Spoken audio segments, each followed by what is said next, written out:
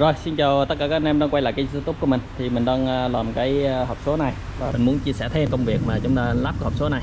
Khi các anh em mình không biết về cái hộp số này, Thì chúng ta không lắp được đâu, ha. Chúng ta lắp là nó sẽ bị sai Và nó sẽ không có đồng tâm, ha.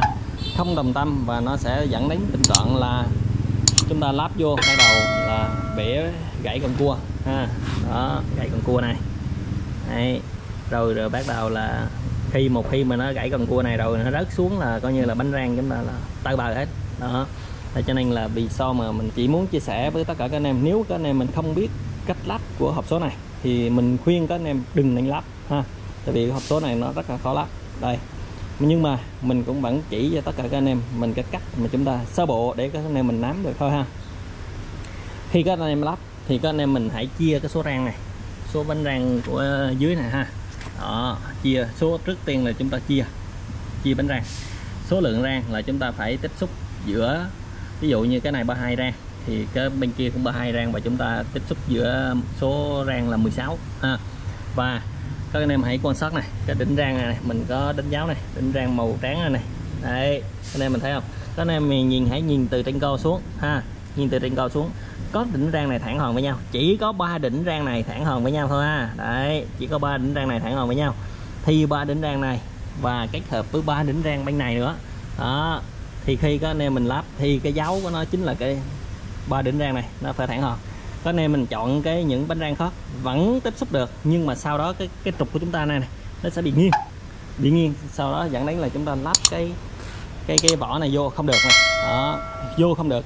Hoặc là các anh em cố tình lắp được thì cái hộp số chúng ta sẽ kêu.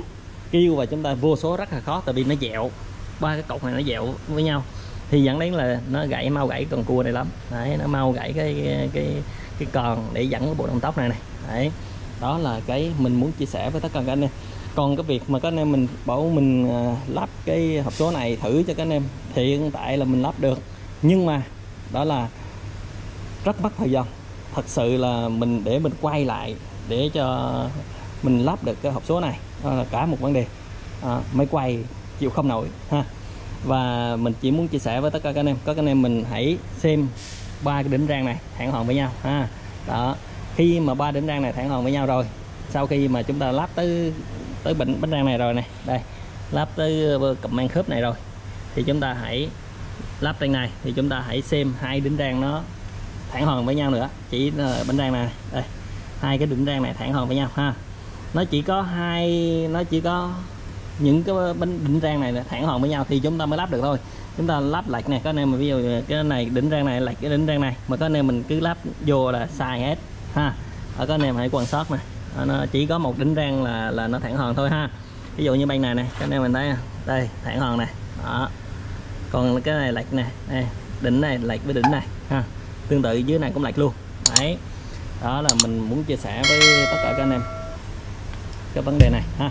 Rồi, xin chào và hẹn gặp lại các anh em ở những video lần sau. Thì vọng rằng là video này sẽ hữu ích cho tất cả các